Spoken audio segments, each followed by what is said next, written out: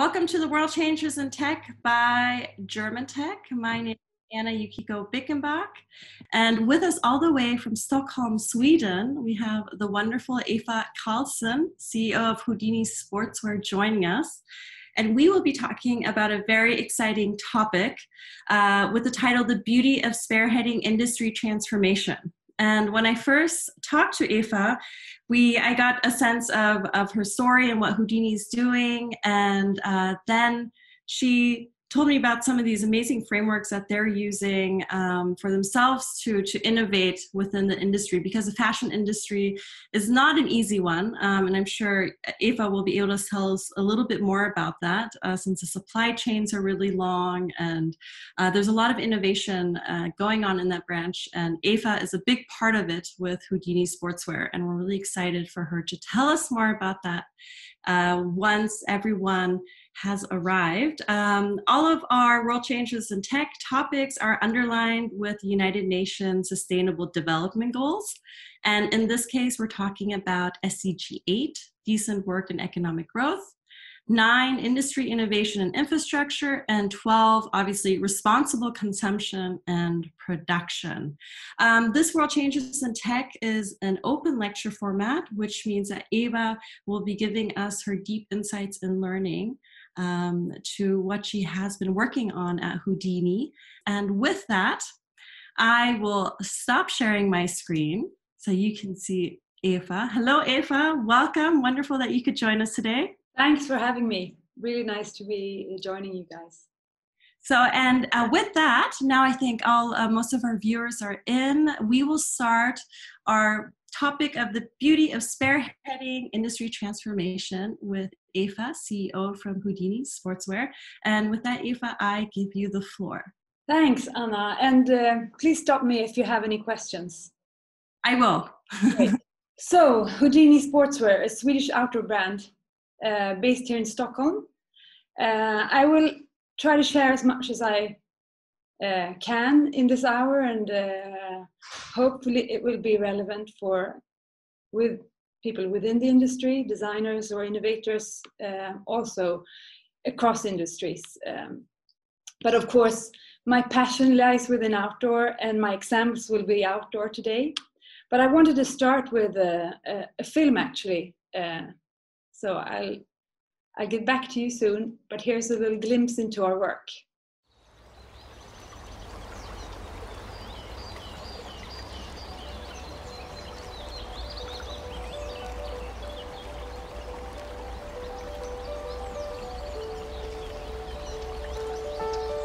This is a taste of the future, to be able to cook from things we recycle. I think for Houdini, it's always been about creating something which is pure, pure enough to, to have a continuous life.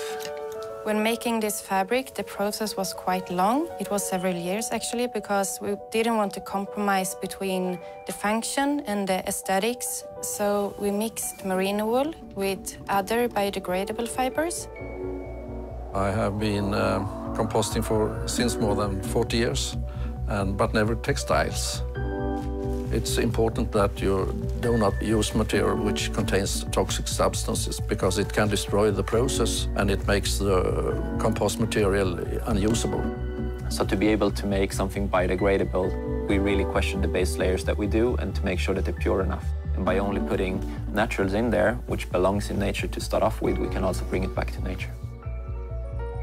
The soil from, from the compost, you can use it as a perfect fertilizer, perfect soil improvement, and it makes uh, your growing much more healthy than otherwise. Houdini's clothes feels very down to earth and honest, so the challenge was to capture that in every dish. What we could do was, for example, make a broth from the, from the mushrooms. We could dry mushrooms, we could smoke mushrooms. So we tried to put all of that together into one dish.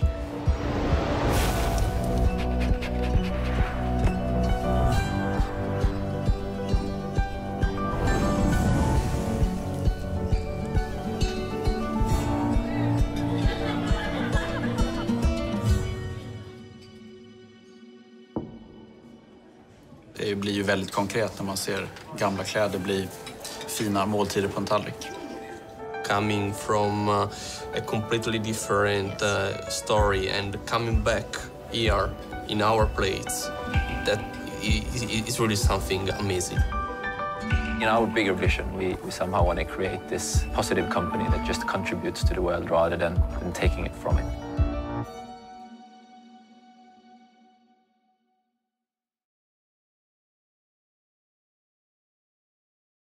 That was wonderful. So basically, it's kind of showing. I mean, for one, there was a wow moment in terms of being able to eat what you produce. And I guess that's the, the, the cycle or the circle that they're showing that you can compost some of the materials and food can grow out of it. Yes, uh, and I, will not get into that particular project, but um, I will get into a lot about uh, systems approach and having a holistic view of um, product you design and materials you innovate and how we can have a, a much more amazing system working with a flow, a, a, natural flow of materials and products and within a system knowledge as well. I think knowledge sharing is like, this is a good example of this uh, this evening, but uh, to, to adapt or actually copy nature as a system, there's uh, there's a lot of beauty in there that we can copy uh, and uh, evolve as a society and have a much much healthier lifestyle and on a much healthier planet. So um, yeah i think the the way that the corporate world has developed very fast and uh, in in silos for many years or even decades. Um, we're trying to get out of those silos and have a broader horizon and find much more interesting solutions that way. So I'll get back to, to that. But I think this is a fun example of how, yeah, we try to do good uh, and we for sure uh, take our mentality as athletes with us uh, because this is tough stuff. It took four and a half years for us to to even get the first product out that was pure enough for this uh, type of composting. And then we need to question ourselves and conventions to push boundaries and uh, and, and really, really innovate. Uh, innovate in a in a way that really contributes to uh, to progression in our in our world, and then have fun while while at it. I mean so that I was going to say that's a great insight too. That sometimes innovation takes time, and you know, four years it takes to then be able to present a really clear uh, video, vision video of, of what you're working for. Yeah, and the project has been moving on since then. But to celebrate um, an accomplishment, accomplishment like that uh, by creating a fine dining menu, which is of course not, not of course not our core business uh, that's a way for us to celebrate and have some fun while at it. But I, I'll move on, Anna, and uh, dig into who we are and, and so forth. So we're a Swedish outdoor company, as I said, and we've been working with circularity and transforming our, our business uh, towards a circular economy since 2001. So we've been doing that for quite a while. Uh, and when I say circular, and I mentioned uh, nature as an example of how it, how excellent it can work, even though it's a very complex system, of course.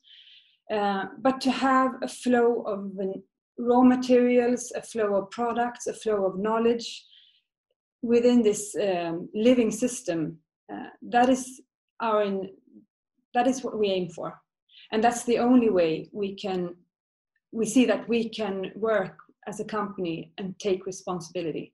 And it's been a long journey uh, and we're not we're not uh, we're not there uh, but we've come a long way. I think today around 80% of our products that we offer are circular meaning that they're made from recycled fiber or organic fiber and designed in a way so that they can go back into the system and stay uh, with the raw materials intact for new products or compostable like in the film so that they create nutrients uh, that are healthy for the soil. Uh, and then we're aiming at reaching 100% circular products only in a couple of years, 2022. Uh, and then we aim at having our, our entire system of products and services and uh, together with the customers and suppliers to create this ecosystem that is circular in its entirety. That means no waste streams everywhere, anywhere, because waste needs to be elim eliminated as a concept even. Uh, nothing taken from the earth's crust uh, and so forth. So that is what we aim for, and that's we have another 10 years to accomplish that. That's going to be a, a tough one, but possible, I think. So nature as our blueprint, I think that's that's really important and um, a source for inspiration for any company, for any inventor or designer uh, to look in, and uh, mimic nature.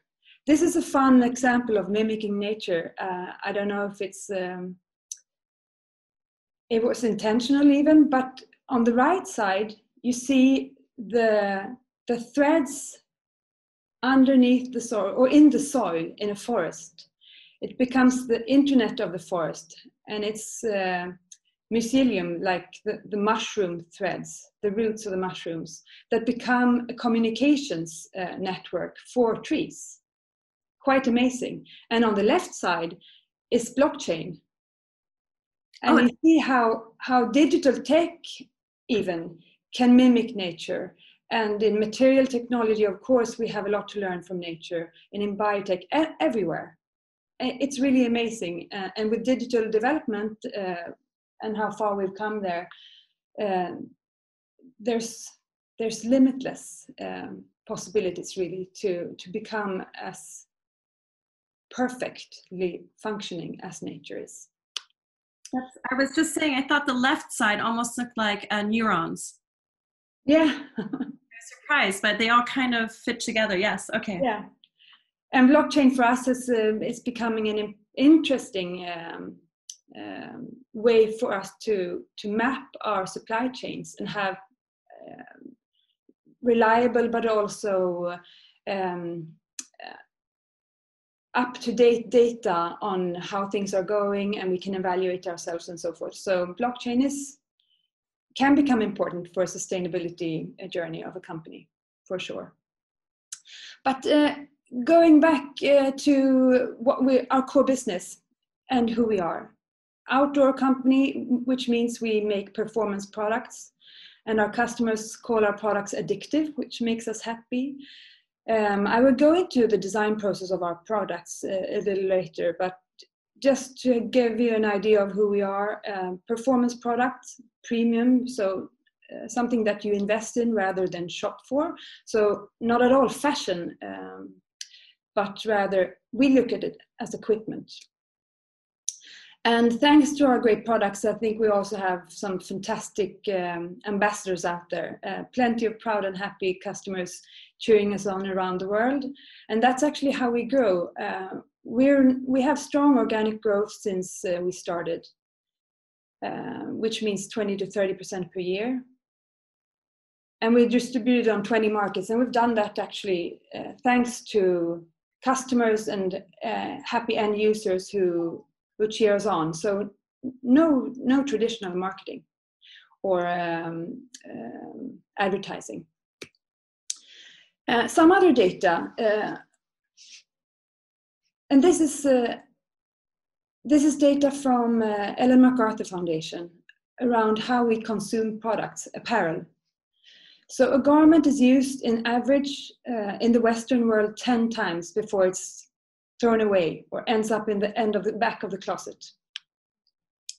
But it doesn't have to be this way. Uh, it's just uh, the way we've ended up through decades of fast fashion and uh, careless production, I would say.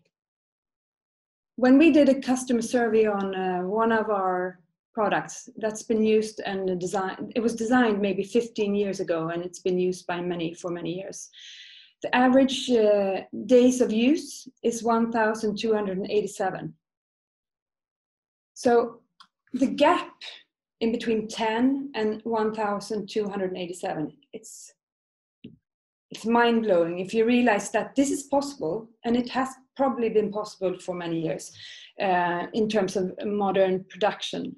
looking back in history, there was wisdom enough to, to repair products and care for products like a tweed suit or whatever. And uh, so these numbers are not revolutionary in the, ter- in the sense of being modern, but in today's trade and apparel industry, this is revolutionary. And it's possible for anybody to copy, and we urge everyone to do so. If we look at the flow of materials, uh, textile materials, less than 1% in the industry is being recycled. And if you look at the way we recycle our, um, our textile fibers, it's, a, it's within the 0.1%. That's where you don't lose any quality uh, while recycling, but can do the same quality level time and time again. So in a in a industry that could be circular, there's immense amounts of raw materials that goes straight to the trash uh, through our uh, past our wardrobes, but only for a few uses, and then goes to the trash. If we look at how how we've designed our products and how we work uh, as a system today at Houdini, 75% uh, of our um, fibers, raw materials are recycled. And then waste, there's an enormous amount of waste in the textile industry. Um, one truck like this every second goes to landfill or is being incinerated.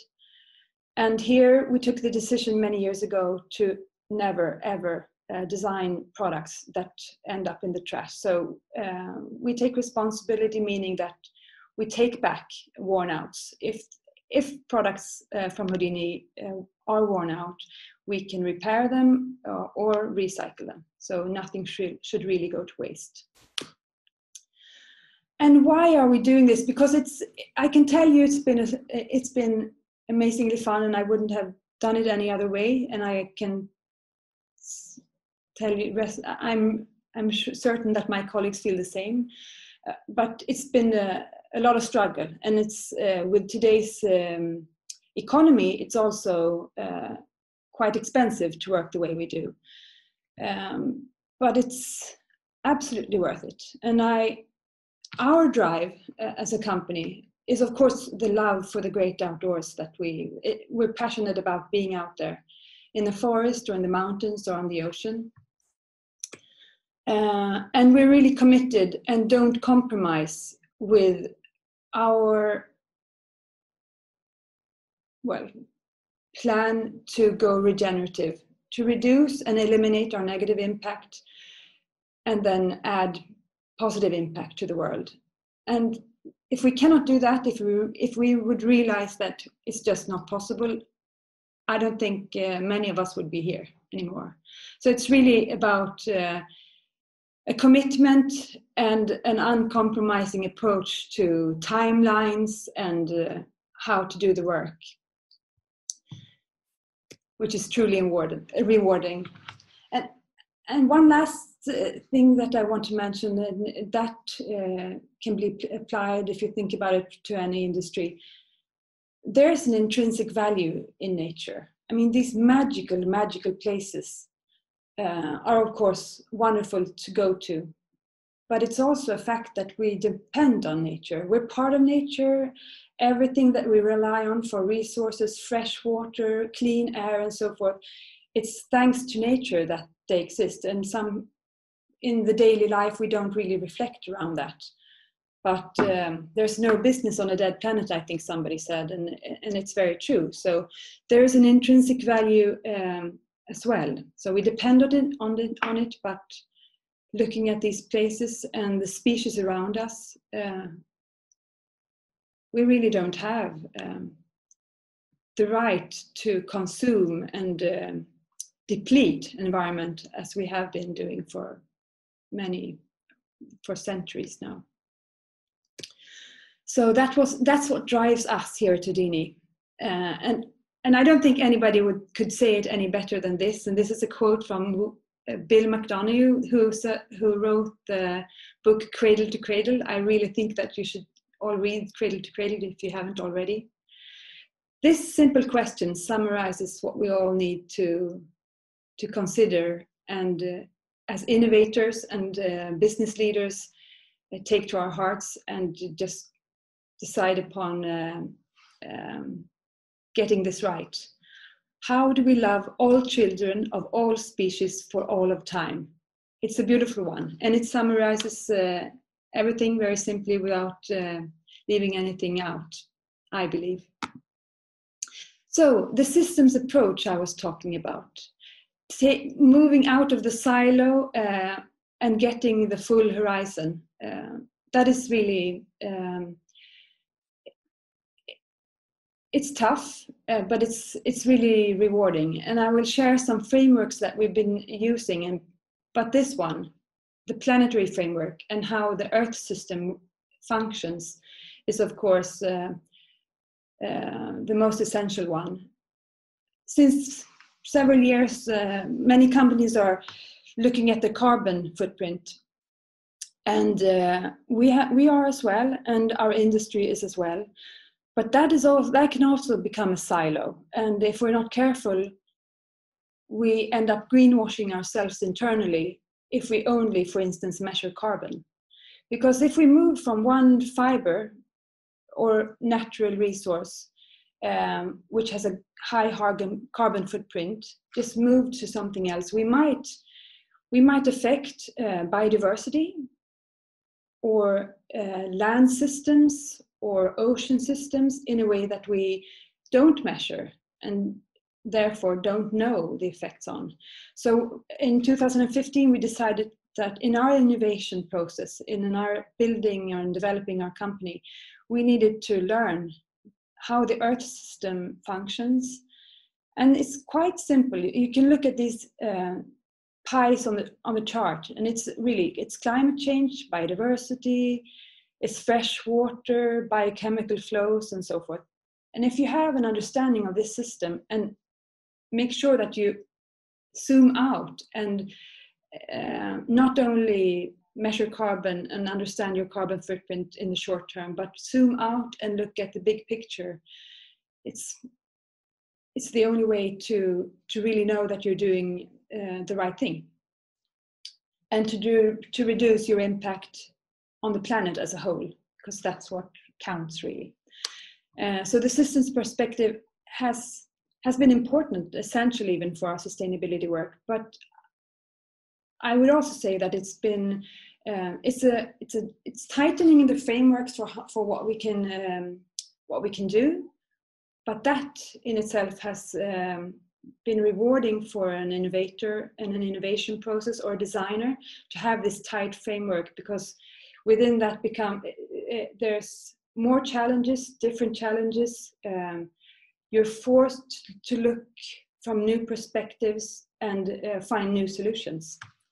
So i would say that uh, our innovation process has become much stronger with this um, holistic or system systems perspective. And eva just a question to the system. Mm-hmm. Would, uh, from looking at the system, you would be within the, the smallest circle where, where it says that is where the boundaries are in terms of uh, producing or being involved in a certain ecosystem chain. It's the, the, low boundary, which is the safe one, which is like the smallest one. Yes. Uh, if we look at becoming a regenerative company uh, where you don't have any negative impact, that would be of course ideal. That mean that means you wouldn't have you would be in the in the spot in the center and not have an impact. But of course uh, that's far from where we are today. Uh, and since this illustration was made uh, the scientists behind this um, this framework they say that maybe half of the boundaries uh, were out of bounds or moving towards out of bounds in a high speed. For instance, biodiversity is one that has been addressed in the last couple of years more so. Um, so it's about eliminating as much or reducing as much as possible, moving towards the center. Another question that I uh, have uh, had uh, a few times, Anna, is so how how do we calculate what's our fair share uh, of impact? And uh, with an approach of or with an ambition to become regenerative uh, it's not about um, understanding our share, how much we can take, but rather how much can we, how much great business and value can we can we uh, provide without taking any or as little as possible. Yeah. Should I move on? Yes, please. Last statement was great. Uh, and uh, with our approach uh, becoming circular, uh, our ambition, long-term ambition to become regenerative, that has made us look at the world in a different way. Uh, and it's all, it's fun, I would say, to do this nowadays because there's so many design flaws. Small ones that can be easily fixed and others that are huge and tough for us as a company uh, to solve by ourselves. We have to do it together with a lot of others. But uh, these design flaws, I will share some that I feel um, are important uh, in terms of mindsets. Uh, this photo is actually a, a, true photo from a, it's a state in the US um, many years ago, and they decided to have a, a cheap way of communicating to their students that they shouldn't do drugs. Uh, and a, a, very small design flaw had a, of course, um, devastating effect on the message they were trying to portray or give to their students. Anyways, I will share some um, of our findings. So, uh, what that we have designed everything in a linear system in a world that is not at all linear. Uh, it's complex and circular and and a living um, system that is a design flaw and a mindset that we can change and have to change. Eliminating the concept of waste. How, a, a, company like ours or anybody else who designs a great product and has this uh, um, vision of a fantastic product that's going to revolutionize the world. Uh, and doing that in a linear way where everything one day becomes waste uh, and you have to extract new resources from our one and only planet it's um, yeah it's, it's just a, such a huge and uh, unnecessary mistake. So let's go circular. Another one is just looking at technologies and uh, um, seeing that it's more or less a given today that our technologies um, come at the expense of nature but what if we just had the mindset of developing technologies that work in partnership with nature. That is also possible. It's just a matter of uh, uh, raising our ambitions or having the right mindset. Collaboration rather than competition. I think uh, as a species, we've come this far because we've been fantastic at collaborating. And suddenly competition has taken over uh, so much more than it should. And if we can move back to a collaborative mode uh, as a base, uh, I think that would be great. And we've been collaborating since forever across industries, within the industry, with some with something that would be uh, traditionally called a competitor. Um, that is really important and uh, opens up so many more possibilities, especially maybe across industries or in between startups and bigger corporations. I was going to ask, do you also um, um, cooperate or collaborate interdisciplinary? So just maybe like a complete different sector, or is it mostly just to get inspired by something new, or is it mostly in the fashion? Absolutely not. No, I think that's been the maybe the most rewarding because we we have uh, one once again we can open up new perspectives by working with other industries. So um, EVs, uh, a Swedish company, um, Polestar, which is doing electric cars. Even though cars is, has nothing to do with what we're doing as an outdoor company, um, academia, uh, innovation hubs across the world, um, furniture companies. So it's it's really, I think it's uh, rewarding uh, to collaborate and uh, to do it broad. One other mindset uh, that I believe is really important that we that we get shake loose from or or or drop entirely. Is uh, how we have a corporate culture and a corporate mindset um, and that's maybe particularly uh, on the sustainability side.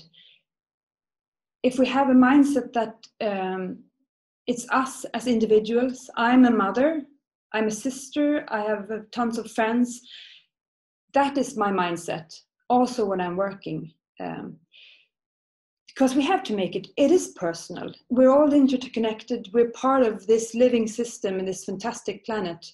And what we do at work and when we innovate and design products and services uh, it will affect everything. Um, next uh, generations but also our kids and our environment. So to make this person personal. And uh, if anybody tells you differently um, be a, be an activist. Uh, because to accept today here, here today to, to accept some kind of corporate uh, uh, compromising just because um, we've been used to compromising within corporate culture for so many years when it comes to sustainability uh, that that is um, so out of date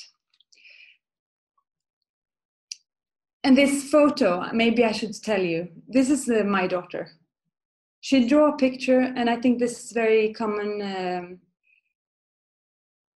in every family, maybe in the Western world. When when they're asked in school to draw a photo of their family, they draw um, yeah me and her dad and her brother. He's a bit lazy, so he's laying down on the couch.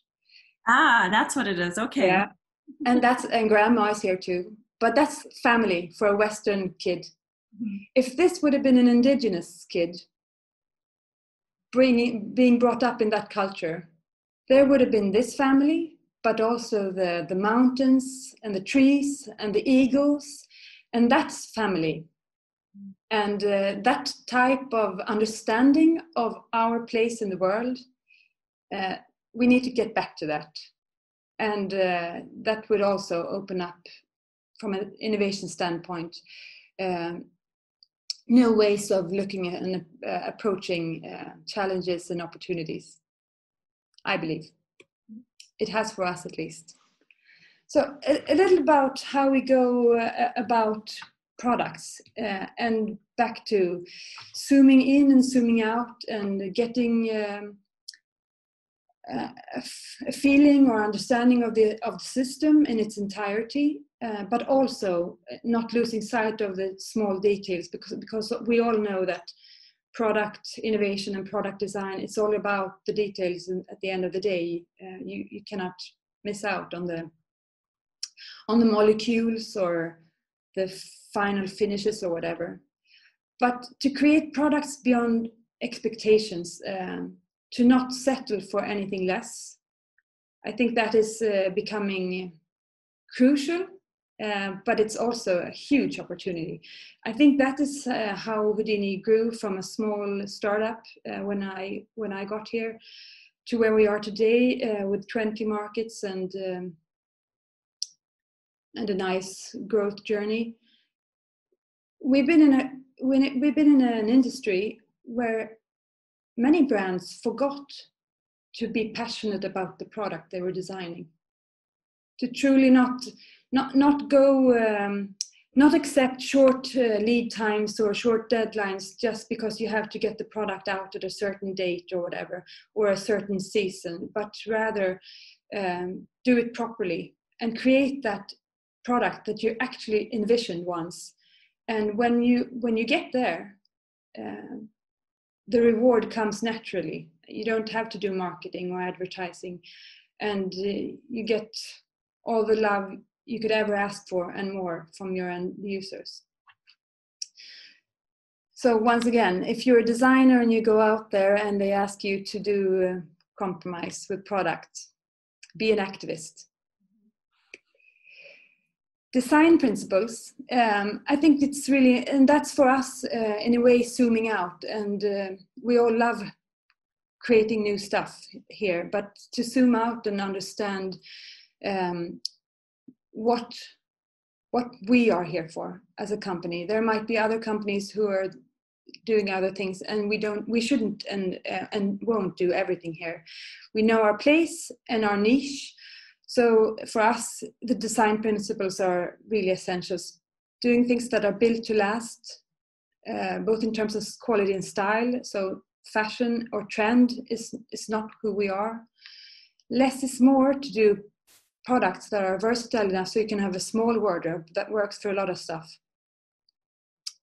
Uh, and so forth. To, th- those uh, design principles have been essential, and of course, circular is one of them. And when uh, when we work with suppliers, we work with very, few and make sure that we select or develop even fabrics together with those few partners. They understand our ambitions and goals and our standards and we can move much faster and further together uh, with the, with those those few. Quick question to that: Was it difficult to find those few? No, uh, it it wasn't. It wasn't difficult. Uh, we've just simply found those that are best in their in their particular field across the world. So we have a global supply chain, which is a which is a challenge for our um, regenerative circular system uh, that we aim to achieve in, in 10 years. Uh, but uh, to find those that are really, really uh, passionate and knowledgeable and ex um, ex have excellence in their particular field, I think that's been the way we, we've done it. And those are few. Uh, and um, what has been difficult for us, or what used to be difficult, was that we were a small startup having these huge ambitions, which do cost uh, money in terms of innovation, uh, uh, man hours, and uh, investments in monetary investments. And of course, we hadn't proven ourselves by the, at that time, but nowadays uh, it's much easier. First of all, the environment for sustainable innovation has, of course, opened up immensely only the, the last five years or so, but uh, as a company, we've proven ourselves throughout the year. So I think all every innovation it hasn't been wide and broad, but we're really really precise. We know exactly what we want, and um, together with our partners, we've collaboratively come come to the point where we can reach our goals together, and we also found um, ways to do business. Uh, in a good way together. For instance, we would never ask for exclusivity on a technology. We'd rather share it.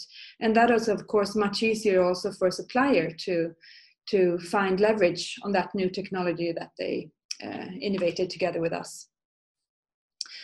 Uh, so that's zooming into the small details, trimmings or um, treatments, or we need to know everything, and we do know everything about our products and what goes into them.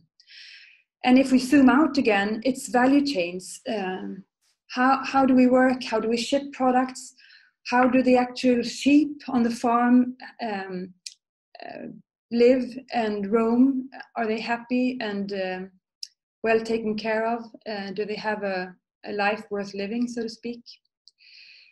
and uh, all the way to here. We manufacture, for instance, everything in Europe still, uh, and that is because we're a fairly small company. But not only that, it's also because we have these long-term partners. We work to, together with them uh, close and often visit.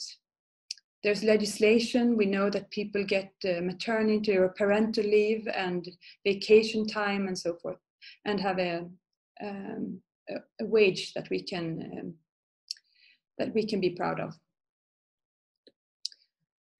Here's one that I I um, we didn't know how much we would use it when we'd made it once um, many years ago, but our designer's checklist has proven very efficient for us. We don't like big, uh, you know, big books of guidelines, but rather do simple stuff that really works in the daily environment and this checklist is something we use at the start of a design process, um, sometimes um, here and there during the design process to make sure that we are not losing sight of who we are or what we want to achieve. and then at the end of the day, before we before we, before we go too far and finalize. Uh, it's about everything from uh, questioning if this product is even worth uh, developing to will it age with beauty? I love that one. Uh, or does it have a next life solution? But uh, simple checklists like this uh, and having that as a discussion point in a design or innovation process, I think it's been amazingly uh, effective in its simple, uh, it's in, it's in its simplicity. My initial reaction to this was uh, we should make one of these for uh, whether or not a B2B checklist, if you want to work with that with a company, whether they're sustainable or not. Uh, and yeah. just like eight questions that say, should you work with them or not? yeah, that's a good one. I, I, we actually do have th- this is the one that we use the most, but we have a few others and no no heavy booklets here with guidelines it's it's more things like this that you can put on the wall and this way of zooming in and zooming out in the design or innovation process that goes for product design but it also goes for how we do how we work with material innovation together with partners and it works works um, equally well when um, doing digital design like uh, service design for us. Or this uh, blockchain uh, transparency and traceability uh, system, for instance. And when we do business model innovation. In all these cases, we have to have, we do have the systemic approach and in order to get that uh, full perspective or uh, helicopter view and then zoom into the details so that we don't um, uh, miss out on something but that exercise is going on all the time here within the uh, within the office and and um, studios if I, if I may, the last question, uh, the the last slide that you had, um, have you been able to also influence some of the suppliers you worked with in order to create new technological innovations to help uh, produce the things you need for your standard? Um, yes, that's what we've been doing all the time. I would say, uh, and I maybe I wasn't clear, but it was it was uh, much much harder many years ago when we were very small and hadn't proven ourselves. Uh, maybe also those the goals that we had then, uh, which are the same now, of course, but those goals were awkward to many at that time. Why why would we why would we want to use recycled material for a, for a fabric that is expensive, for instance, when there's virgin? Why would we use recycled? That was a question we, we received.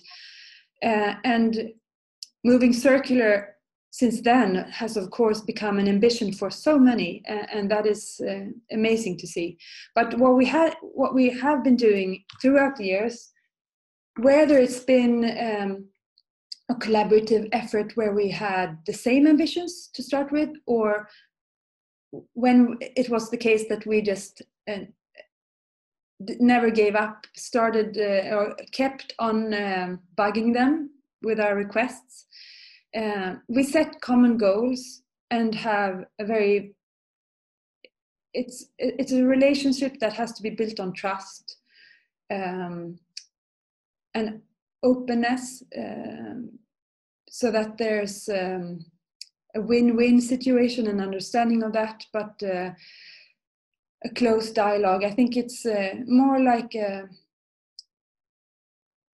it's a very a genuine relation that we have with everyone. But we also set common goals and uh, and plan ahead. Um, so it's a, it's a mix of the soft and the and the hard, so to speak. Mm-hmm. Um, but we do set goals together, uh, and with the goals that we have now uh, ahead of us, like uh, eliminating all the microplastics or waste streams that are microplastics might be a very small one for us, but that one has to go as well. Uh, that will require lots of work from us and from our suppliers. Another one is uh, moving to renewable energy. That is something that we have come far here in Europe with, uh, and in some other places in the world. Uh, but in other regions, for instance, Japan, it's a long way to go.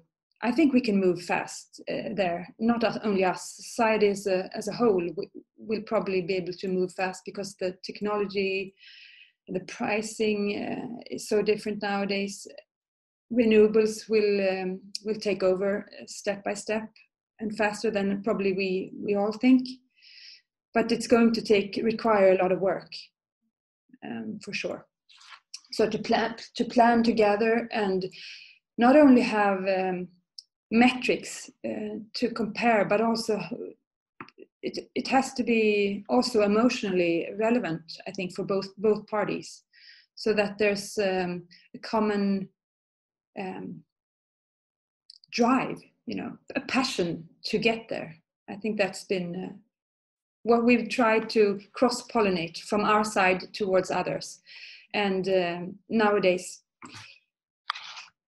we have the luxury of working with so many partners that are already um, up to speed and uh, of course advanced um, way more advanced than us in particular field. Uh, but there's a there's a conscious movement among uh, companies and innovators and innovation hubs uh, that is amazing to see. The, the last maybe couple of years i would say uh, i can feel that there's um, a great wave of uh, like-minded and that makes me hopeful really that we will be able to um, reach reach our goals um, and uh, have a lot of other colleagues in the business and elsewhere uh, move along, moving along with us uh, in that direction.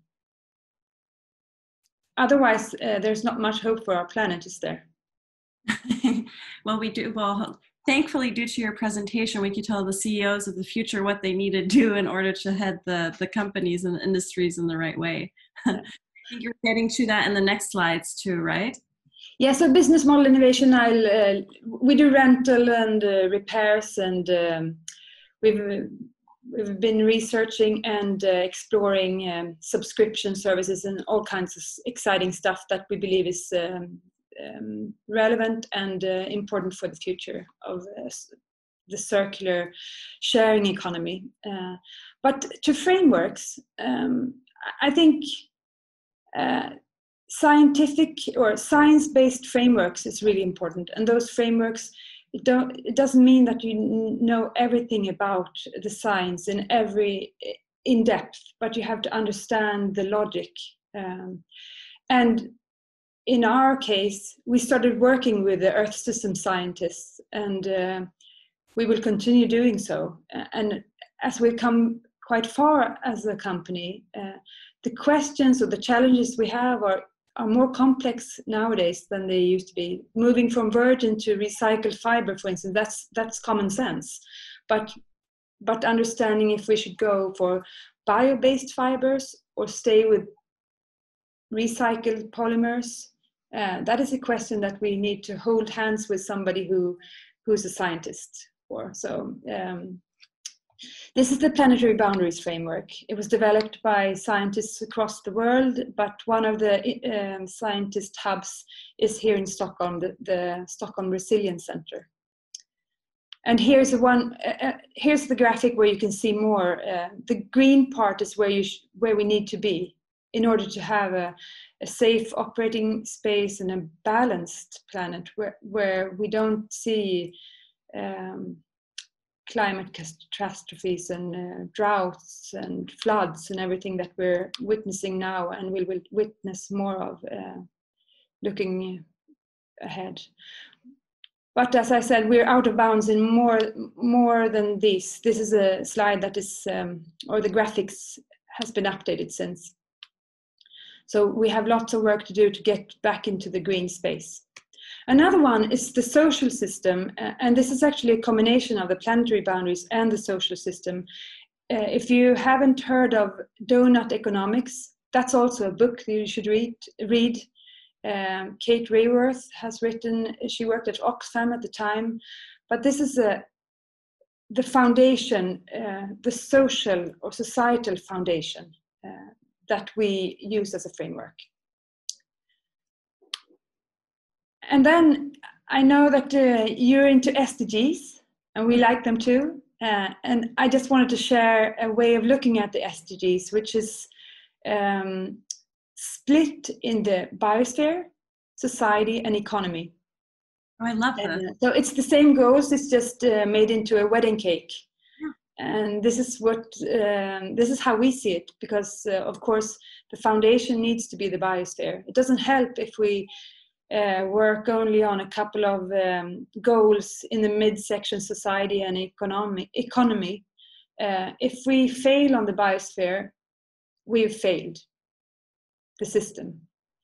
Uh, and uh, I would also stress that even though we realize that we focus and have the biggest impact on very few goals, we have to have the perspective of all of them and understand our impact on all of them.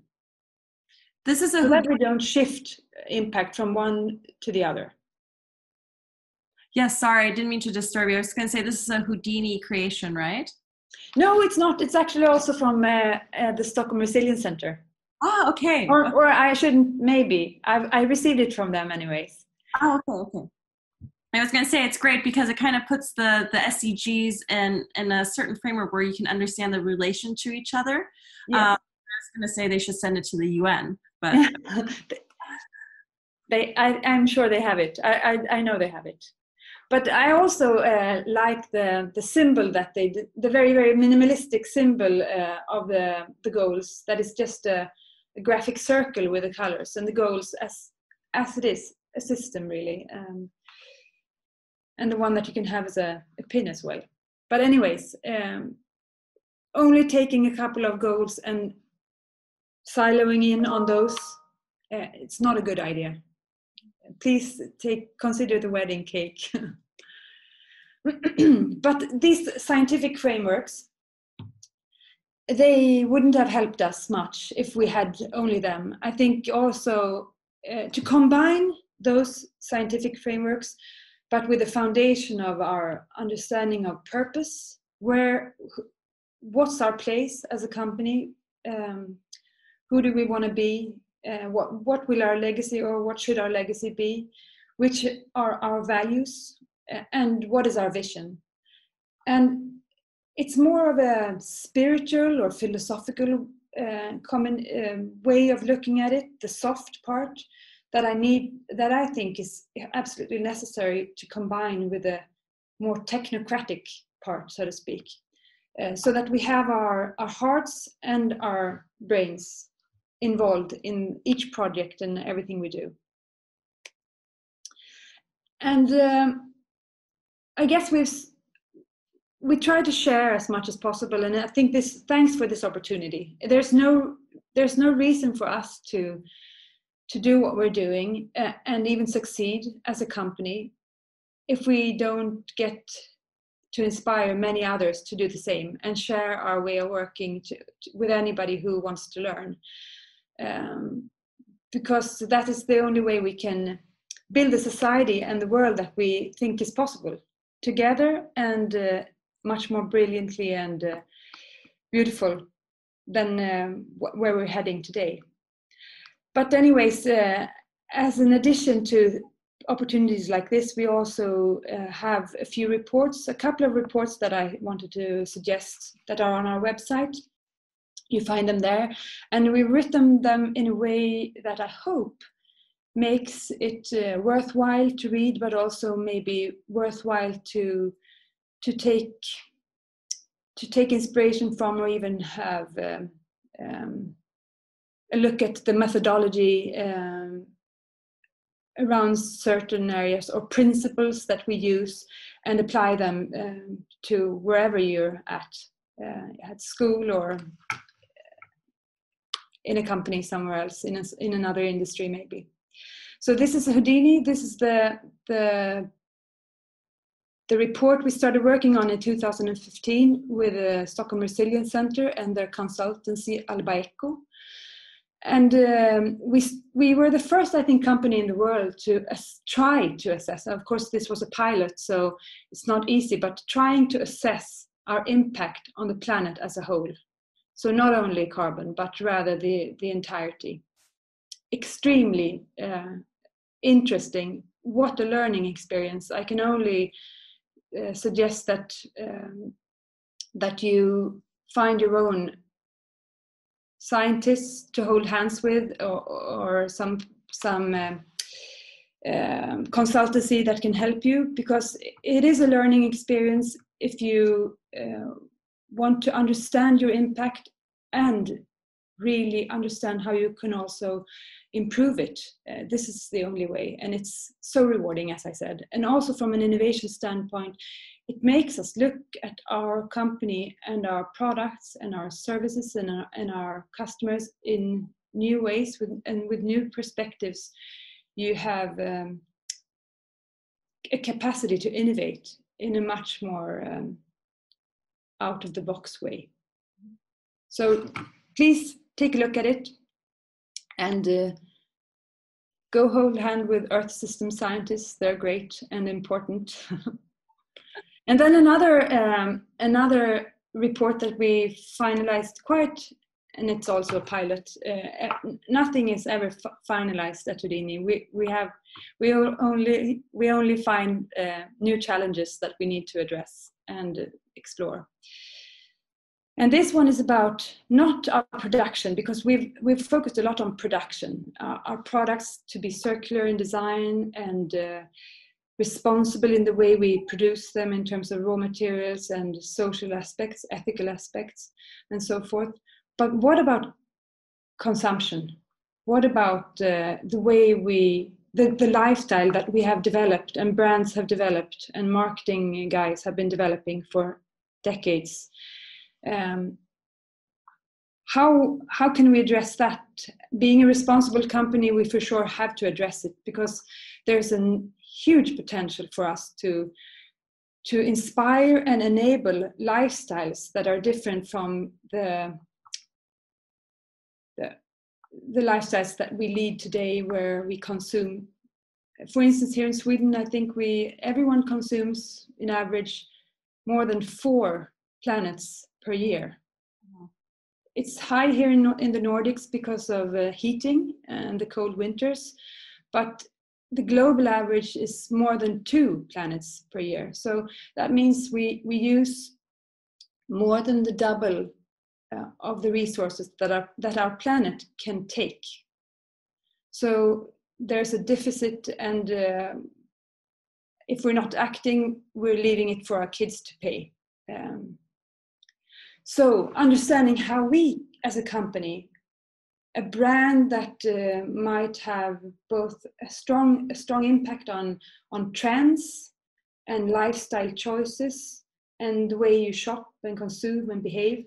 Um, let's tap into that and understand how we, together with others, can shift lifestyles to something that is more sustainable and maybe worthwhile and maybe more beautiful in the sense of having a, a, fulfilling life. I don't think anybody, if they really reflect, uh, have a fulfilling life by going to a shopping mall shopping every weekend. Um, I think there's much more to, uh, as an individual, to to evolve and experience in, in life, um, and maybe the GDP way of measuring um, value uh, is outdated, of course, but uh, it's um, we're in the age of the machine and the GDP way of measuring things. So it's it's um, important for us all to reflect on that and and try to figure out if we can um, if we can think and act differently and uh, nudge ourselves and society to to in a new direction. So lifestyle is uh, extremely important in that sense. When we when we estimate, we see that what we can achieve as a, brand, a lifestyle brand in terms of changing uh, behavior, maybe that's even maybe maybe have a, a bigger effect uh, on sustainability than our changes in production. Not that we would uh, stop working on um, circular production and so forth. We wouldn't. But to understand that there's a possibility here to to move even further that's uh, one part of the the life the regenerative lifestyle initiative was measuring how many days of use our products have. And of course, if if you buy a product that you use 10 times and then you have the possibility to buy a product that you actually not only can uh, use one more than a thousand times but actually do use more than a thousand times that means a lot for reducing production volumes and uh, uh, spending hopefully time reading a book or uh, going out in nature or hanging out with friends uh, rather than spend money shopping for new stuff I agree. We have to simplify a, a lot more things in our lives. Um, I don't know what what is the time, Anna? How much time do we have? The time is. I wish I could give you all the time in the world, um, but unfortunately, we we have to uh, come to an end at some point. But I, I wanted yeah. also for you know giving us this great presentation as to how Houdini itself within the company, um, the values that you're bringing to the table, the way you're looking at uh, producing and spearheading and, and helping the industry um, innovate from from in, in itself. Uh, and I want to be able to I want to address a few questions that we we have uh, that are quite interesting, so we can use the last few minutes. Mm-hmm. Um, has a lot of a lot of the things are that you have are also outdoor it's outdoor sportswear. And we had a question in terms of maybe innovation and waterproofing the jackets. Is there uh, the question is how circular is the jacket? Is what kind of technology do you use to repel? Is the repellent in itself not unsustainable? I don't know what the right mm-hmm. word um, there's more work to do there for sure. Uh, but we have since several years now we we we have uh, moved from uh, from a certain type of DWR, a durable water repellent that has uh, fluorocarbons in it. Uh, we moved away from that. I don't know if it's more than five years ago, a long time ago, anyways. Considering that there are many brands in our um, premium segment of the market that are still using those um, for more or less all their shell layers. Uh, the, the challenge is to have high the high performance um, and a durable water repellent, but considering these are chemicals that shouldn't even have been um, used at all um, in, in consumer products. And the same goes for for the membranes that are used in many waterproof shells. Uh, the membranes are, are, made by chemicals that shouldn't be in any consumer products um, for many reasons. Uh, but one reason is that they cannot be recycled, but uh, that there's uh, environmental issues and health issues as well. So um, when we started designing shell layers, that was uh, a given for us from the start. So it take it took a few years for us to to reach um, a seller that we could bring to market. But at the, at that time and still, they are pure polyester. So there's a, a great membrane made out of polyester that is um, uh, breathable and waterproof. And then you have a face fabric and a scrim fabric on the inside, that, that, which is also polyester. Uh, so that means the whole package is polyester uh, and it is recyclable at the level of a PET bottle. So a layer from, layer from Houdini can be used, I don't know, 10 years or whatever, and then if it wears out, uh, it, we can take it back and make a new layer out of it. That is technology that has been existing for, I don't know, 15 years. And very few in the industry use it, uh, and and I don't know more than a couple or three maybe that have decided to only use these sustainable technologies. Of course, that's how we work. Uh, we wouldn't use anything else. Thank you for, for clarifying that. We also had a, uh, a fun question from Björn um, who says, is it pure coincidence that the leading sustainable outdoor brands in Sweden and Germany, which is yourself mm. and Divits van Baudi are led by women. Yeah, and that must be a, a coincidence. I believe so. I will into or, that. may, or if if anything, may, uh, may I talked about corporate culture and uh, personal values. Uh, I wouldn't want anybody to come in here and and be forced to live um, or work in a way that uh, is contradictory to their personal values. And as a mother, as, as I said, it, it's um, it's for me natural uh, to question a corporate culture that is um, contradictory to a personal um, to our personal values maybe that's easier for somebody who's not been um, going to business school. Maybe it's easier for a, a, woman who has kids. I don't know. It, it should be just as easy for dads who have kids but that's we're we're getting there uh, fast. It's it's a different world. So i wouldn't say gender. There are other things uh, as well.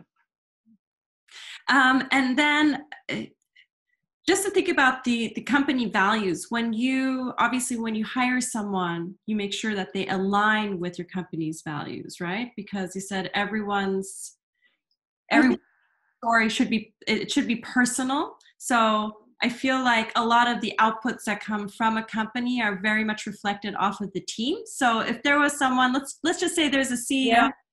Okay, I want to go with the planetary boundaries. And um, what are like the three steps you would recommend them to do now? Find somebody to collaborate with. And uh, I think all great leaders understand that they're probably not, not very good at. Um, there's always people who are better, better equipped, more knowledgeable, more experienced, or uh, better equipped to to take on a certain field. Uh, so being humble and making sure that you have this dream team at your side, uh, including including those maybe on the outside, but um, that is, I think, uh, important. What that what is that? Collaborate, um, having uh, per, individuals at your side that uh, can achieve great things i think maybe then uh, it has to be fun. Mm-hmm. you have to love it. Okay. To work with maybe to work in a field that you really truly believe in um, and are passionate about uh, about. Uh, to me to work with earth system sciences and being curious and uh, and wanting to learn um, then it becomes rewarding. If if I wouldn't be like that, I I don't think it uh, it would feel like a heavy heavy effort, um, a mountain to climb. Um, this has been a fun mountain, so you better you better find fun mountains to climb, whether you're working at a, uh, any company. I love that metaphor. because A good challenge can be fun, especially if it's. It has to be. and with that, I want to say again, uh, you obviously give us the book tip to read Cradle to Cradle, which I have somewhere in my bookshelf. And then it was the uh, Doughnut, uh, Doughnut Economics, right? Or was it Doughnut? Yeah. Doughnut Economics by Kate Raworth. Yes, Doughnut Economics. And um, with that, Eva, I want, I want to thank you for this wonderful open lecture and the insights you were able to give us to all of our participants today. And uh, just want to make sure that if you guys want to stay connected to German Tech, you can sign up to our newsletter. Um, so, Eva, thank you so much for joining us today.